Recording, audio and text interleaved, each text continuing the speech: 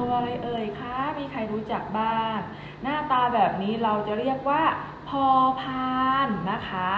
เดี๋ยวเราเริ่มจากการเขียนเด็กๆ ชูนิ้วชี้พิเศษของเด็กๆขึ้นมากันเลยค่ะ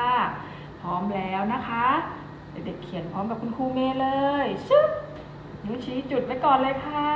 ลากกลมขึ้น เหมือนล้อรถ แล้วก็ลากหางยาวลงมา ใส่หยักขึ้นหนึ่งหยัก นะคะหยักลงชุบแล้วก็ใส่หยักขึ้น เห็นไหมคะเด็กๆขานี่คือหน้าตาของพอพานค่ะ เดี๋ยวเราจะลองฝึกเขียนกันอีกครั้งหนึ่งนะคะ นิ้วชี้ขึ้นมาเลยค่ะชุบจุดลากกลมเหมือนล้อรถ ลากหางยาวลงมาชุบอยากขึ้นนะคะ แล้วก็อยากลง อยากขึ้นนะคะ ใส่หางขึ้นมาเห็นไหมคะเด็กๆขาเพียงเท่านี้เด็กๆก็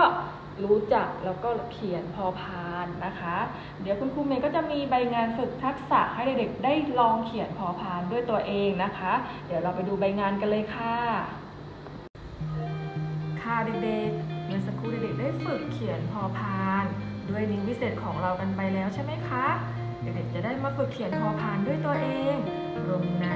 ใบงานฝึกทักษะของเด็กๆกันเลยค่ะ เด็กๆเห็นใบงานหรือยังเอ่ย เตรียมขึ้นมาเลย สีหรือดินสอก็ได้นะคะ จากนั้นเรามาเขียนพร้อมๆกันเลยค่ะ นี่คือตัวอะไรนะพยัญชนะเมื่อสักครู่คุณครูเมย์สอนไปแล้วตัวอะไรเอ่ย พอพานนะคะ เดี๋ยวเด็กๆมาฝึกเขียนพร้อมกับคุณครูเมย์เลยค่ะพร้อมกันหรือยังเอ่ย ร้อมแล้ว จับดินสอนะคะ เราจะเริ่ม ลากหัววงกลมเหมือนล้อรถนะคะ ลากเส้นยาวลงมา อยากขึ้น อยากลง ใส่หางยาวขึ้นไปนะคะ พอพานของเราตัวที่หนึ่งต่อมา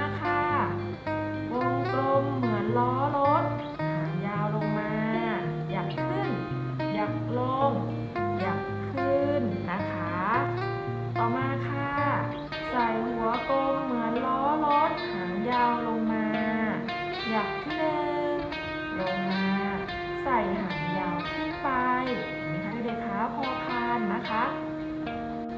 เด็กๆพยายามฝึกเขียนเลยนะลูกจะได้เก่งๆนะคะ นี่คือพยัญชนะตัวพอพานนะคะเด็กๆ แล้วก็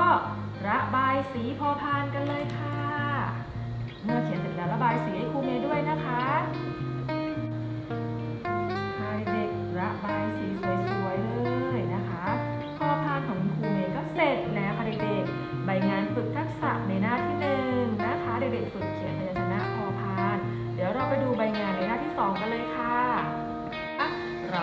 ยังคงอยู่ในพยัญชนะ พอพานนะคะ ก็จะให้เด็กๆทำอะไรเอ่ยโยงเส้นนะคะ พยัญชนะที่เป็นพอพานนะคะ เอ๊ะคุณครูเมย์จะให้พยัญชนะมาสองตัวนะคะ ให้เด็กๆสังเกตนะคะ มีฟอฟันนะคะฟอฟันจะหางยาว พอพานจะหางสั้นนะคะ แล้วให้เด็กๆสังเกตดูพยัญชนะตัวไหนที่เป็นพอพาน ให้เด็กๆ โยงเส้นลงมาไว้ในพานนะคะ ที่คุณครูเมย์กำหนดให้ พร้อมแล้วเรามาทำกันเลยค่ะ พอพานตัวที่หนึ่งชุบชุบชุบชุบชุบนี่ตัวไหนคะตัวนี้ใช่ไหมเอ่ยตัวนี้ไม่ใช่นะคะ ตัวนี้จะเป็นฟอฟัน เพราะว่ามีหางยาวค่ะ แต่เขาให้โยงเส้นตัวพอพานค่ะ พอพานตัวที่สอง พานเด็กๆเห็นแล้วทำไมเลยคะโยงเส้นลงมาใส่ไว้ในพานเลย พอพานชุบชุบชุบชุบชุบเฮ้ยอีกหนึ่งตัวค่ะ เสร็จแล้วค่ะเด็กๆขาเพียงเท่านี้เองนะคะ